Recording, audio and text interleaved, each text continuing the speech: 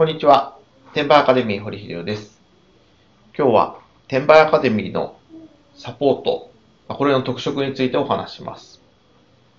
まず私のサポートは、コーチングという手法を使ってます。あなたができることを見つけて、あなたのできることの中からお金儲けにつながりやすい強みを見つけて、そこを伸ばすと、そこを活かすとですね、いうような指導をしています。ところが一方、まあ、多くのセミナーやってる方とか、私は稼ぎましたとか言ってる方のやり方はですね、えー自分がやってることを、えーあなたにもやれと、合う合わないは、ともかくあなたにもやれと。いうような、まあ、押し付けというかですね、教え方をしているのが多いです。これまあ、日本の、まあ、指導方法っていうのは主にこの方法になってまして、まあ、柔道が強かった人が柔道を教えるとかね、野球が上手かった人がプロ野球を教えるとか、まサッカー上手かった人がサッカーを教えるというやり方をしています。まあ、これが、まあ、日本のプロスポーツが弱い原因じゃないかなと。まあ、甲子園で頑張ったけどね、プロになってパッとしないとか、メジャーじゃ全く通用しない原因じゃないかなと思います。えたまたまその人ができたことを他人に教えてうまくいく確率ってのは非常に低いんですね。まあ、ところが、まあ、何か勘違いしてですね、自分ができもしないことを教えられないとか、まあ、自分がやってもいないことを教えられないと。まあ、これ本来指導者失格なんですけど、まあ、指導者失格をですね、声高らかに言って教えてる方が非常に多いです。まあ、だから、すごい実績があるはずなのに、習った方はパッとしないと。ね、100人に1人ぐらいはうまくいった方いて、まあ、その100人に1人の方をね、えーこれだけ稼いでますって宣伝して、残り99人がですね、えーできないのを努力不足で切り捨ててしまうというのが、まあ、通常の指導方法です。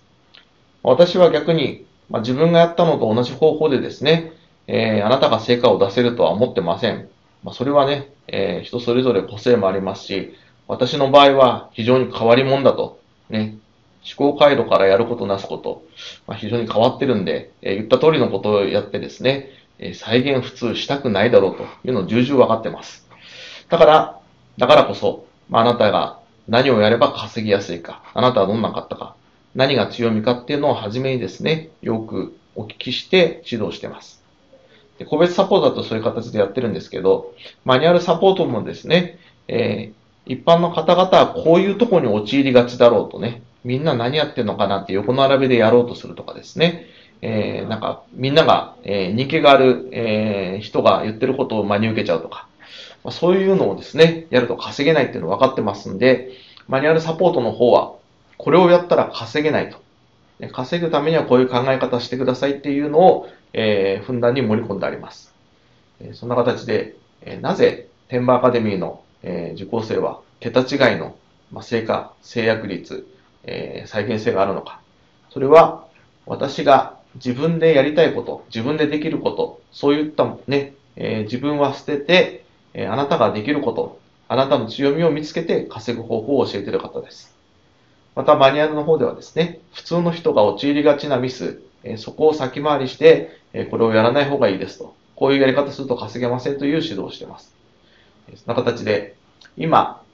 まあね、アマゾン室有名な方が教えてるのか、えー力のある方が集客してるのかわかりませんけど、えー言う通りにやったらアカウント削除されましたとかね、えー全く何ヶ月も頑張ってるけど稼げませんとかいう相談が非常に多いです。